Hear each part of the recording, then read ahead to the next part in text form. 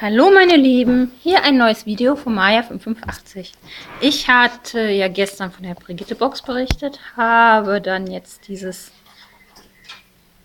Makakao, äh, Makakao äh, angerührt heute.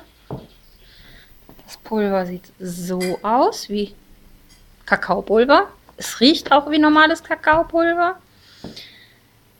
Es lässt sich aber sehr schlecht in die Milch einrühren, weil man kann es entweder mit Milch oder mit... Also man rührt es entweder in Milch oder in einem Nusstrink ein. Ähm, dann sollte man es nach Belieben süßen.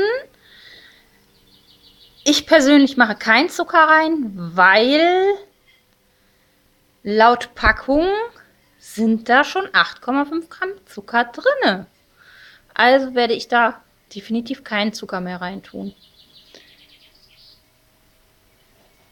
Ähm, also wie man sieht, es lässt sich verdammt schlecht einrühren.